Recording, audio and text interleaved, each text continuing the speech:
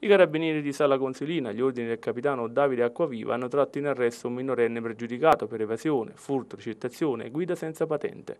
Il giovane di origini rumene sostava a bordo di una vettura Fiat Panda di colore grigio presso l'area di servizio di Sala Consilina, sita sull'autostrada A2 del Mediterraneo, per fare rifornimento di carburante. Una volta effettuato il pieno, per circa 80 euro, la stessa metteva in moto e si dava a precipitosa fuga sull'autostrada in direzione sud. I carabinieri della compagnia hanno intercettato subito il veicolo che a seguito di accertamenti risultava provento di furto occorso nella notte del 13 agosto scorso in Battipaglia. Dopo l'inseguimento lo stesso veniva bloccato sulla SS 517 Bustentina dei militari della sezione di Buonabitacolo che lo traevano in arresto. L'autovettura Fiat Panda sarà restituita al legittimo proprietario. Il minore è risultato altresì evaso l'11 agosto scorso da una comunità per minorenni di Caserta, dove era sottoposto agli arresti domiciliari e lo stesso veniva altresì deferito per guida senza patente, con l'aggravante della recidività.